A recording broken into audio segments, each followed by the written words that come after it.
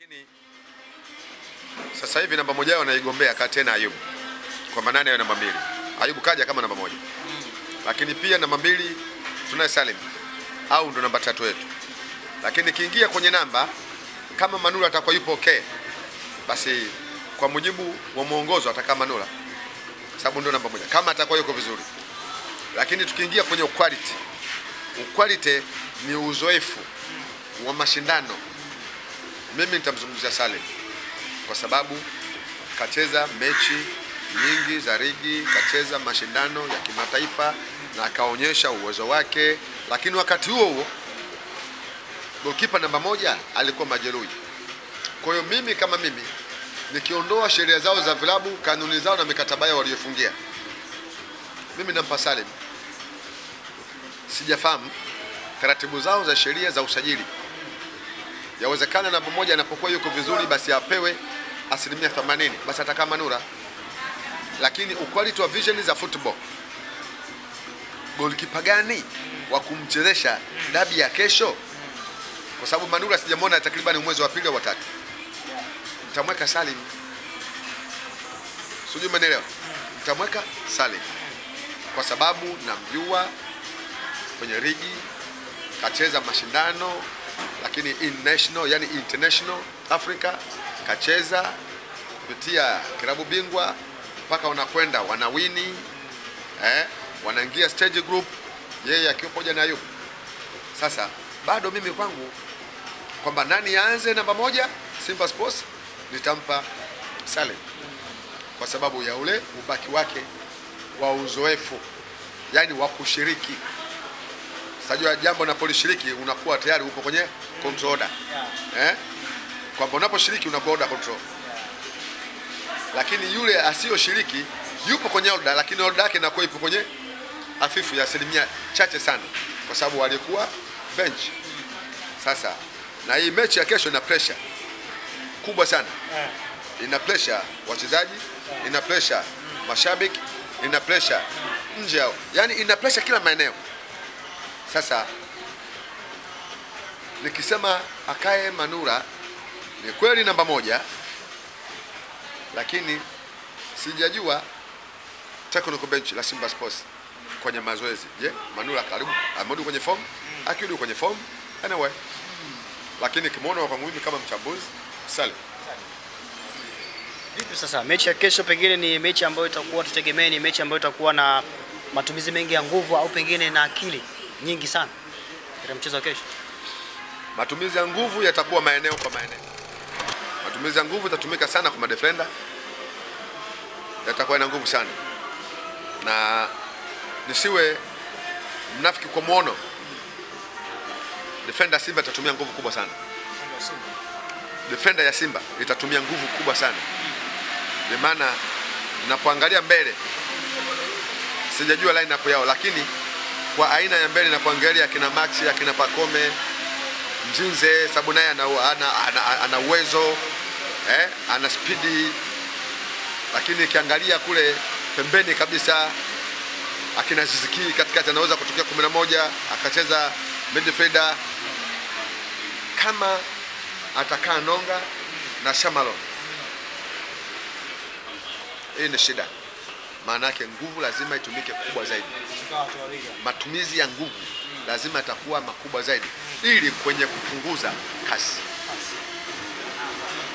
Lakini defender za Yanga sioni kwamba kutakuwa na nguvu kubwa sana, kwa sababu mwenye reality mbele mmoja Kibu Dennis, ambaye yeye ndio mwenye reality ya kuwa na misuri na kutembea kwa high speed kwenye football.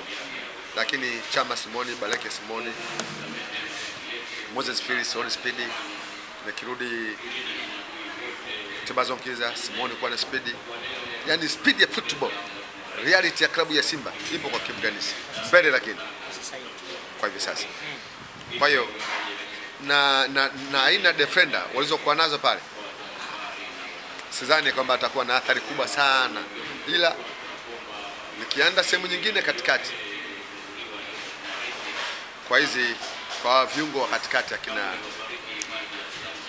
akina Kanuti Kanuti hapa lazima patatokea kidogo vision tofauti tofauti. Tegemee bato kubwa. Eh, bato ni kubwa kwa sababu hii hii dabi kubwa na ina pressure kubwa na pressure pande zote.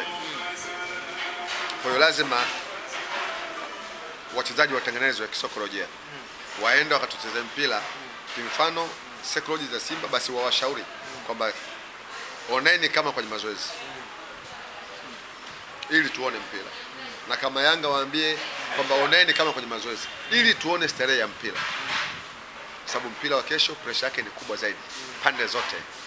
Wachezaji pressure, mashabiki pressure, referee pressure, maeneo yote ni pressure tu, sababu ndio ukubwa, na hii ndio ukomavu wa ukubwa wa ligi. Yeah.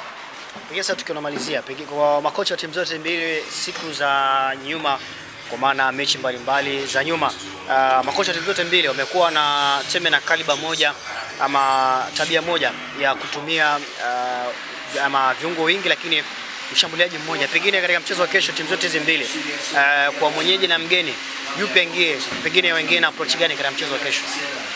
Kwa Simba. Ah, kwa Simba kwa Simba automatic automatically striker anajulikana. Kwa Simba ni automatic automatically striker anajulikana ni Bareke. Bareke ni striker.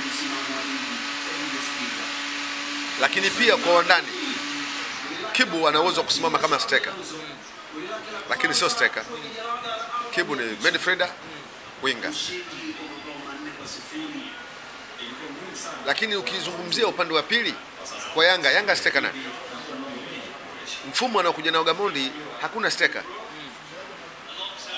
ndio maana utamkuta mpaka yao anakwenda mbele. Mfumo Gamondi ana steka, na ndio mifumo sasa hivi inayotawala duniani. Yani kama utakuwa umefata mipira iliyochezwa hata kwenye mashindano ya Africa League eh, ambaye final wameingia Mamelodi na Wydad mfumo wa Gamondi ni mfumo wa Mamelodi. Yeah. Hawana steka Yoyote anakushona, yoyote anakuwa. Na hata ukiangalia goli za Mamelodi. No striker. Hata goli hizi ambazo anazoshinda shinda Yanga. Anafunga steka steka Yanga tunasema kama striker Mzize, kama striker Msonda. Ana goli ngapi Msonda? Afi- Hajafikisha goli nne. Mzinzi ana goli ngapi? Hajafikisha nne, lakini ndo masteka. Kwa nini anakuwa na goli sita Aziziki? Kwani steka ni midfielder? Maana yake ndio utaona kuna mabadiliko ya kimpira. Watu sasa wanakwenda na mipira ya kileo duniani. Maana yake anaweza akawa steka, lakini steka huyo huyo ukamkuta anashuka katika nafasi ya kiungo au midfielder, alafu midfielder ikaja kukuzuru. Huo ndo mpira, lakini kama utasema kwamba steka wangu mimi Bareke, watu ni rahisi kumwangalia Bareke, sijui umeelewa na na kwa mipira ya sasa kupitia vilabu vyetu lazima twende kileo, tusiwe bado na mipira ya miaka 90 tupo 2023 24 lakini pia tusome nyakati za mpira. Sasa approach ya Gamondi na ya Robertinho ni vitu viwili tofauti, vitu viwili tofauti. Hata mwangalie anapomchezesha Mzinze kama striker, lakini Mzinze anakwenda mpaka winga, anahama kwenye lile dimba, na kwenye lile dimba wanakuja kupishana kati ya kati ya huyu Max pamoja na Aziz Ki yoyote yule anafunga, lakini Max je, tumdasili tumwangalie Max anachezea wapi? Anaweza akapekwa kumi na moja, lakini utamkuta yupo anakuja kwenye kiungo mkabaji kumi na moja, ikae empty au beki tatu akaenda nne, akaenda kulikava kwenye beki tatu. Ndio mpira duniani unavyochezwa sasa hivi. Kwa hiyo hata kama utasikia kwamba bana steka wao pale Musonda, a a uki ukirekeji na Musonda anakuja beki mbili, anakuja beki tatu, anakuja sta- anakuwa. Kwa hiyo approach ya Robertinho ni sahihi, kwa sababu steka tegemezi Bareke yupo, lakini pia hata huyo Bareke eh, midfielder Chama anakufunga. Ukiingia midfielder huyu Saido anakufunga, sijui umeelewa. Watu wa sasa wamehama hilo eneo la kusema kwamba steka ndio mwenye, mwenye kufunga steka pekee. Ah, ah, huo mlango hamna. Watu tukihitaji matokeo ya pointi tatu,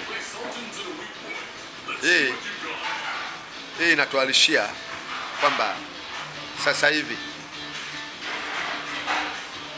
tunafata na mipira ya wenzetu, lazima tufate mipira ya wenzetu, tusibaki hapa tulipo.